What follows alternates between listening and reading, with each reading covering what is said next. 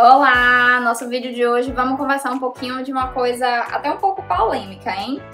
Primeiro banho do recém-nascido. E aí? Como é que a gente pode dar esse banho? Quando? Como é que vai ser essa água? Meu Deus, socorro, não sei o que fazer. Vamos começar a entender o passo a passo? Juro pra vocês que eu vou simplificar. Vai ficar assim, bem mais fácil dar banho no recém-nascido, tá? Vem comigo.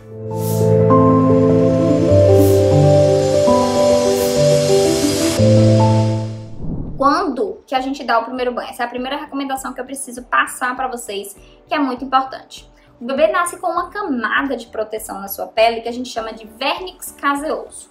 Alguns mais, outros menos, mas todos têm o vernix. Isso é para proteger a pele do bebê, isso não é sujeira, tá? É uma capa de proteção criada lá na barriga.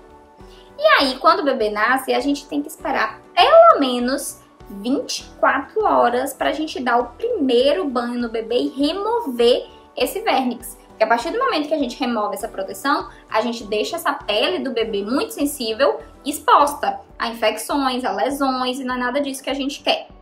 Então, o que, é que eu converso com os meus pacientes? Se correr tudo bem com o nascimento, vocês vão ter alta com até dois dias de vida. Então, o primeiro banho do recém-nascido não precisa ser na maternidade. Pronto, já vou quebrar aí a primeira polêmica e mito de cara que o primeiro banho pode ser em casa, com dois, três, quatro, cinco dias de vida. Quanto mais tempo a gente deixar o vernix mais protegido, o bebê fica. Então não precisa se preocupar em dar banho na maternidade. Pode deixar para dar em casa.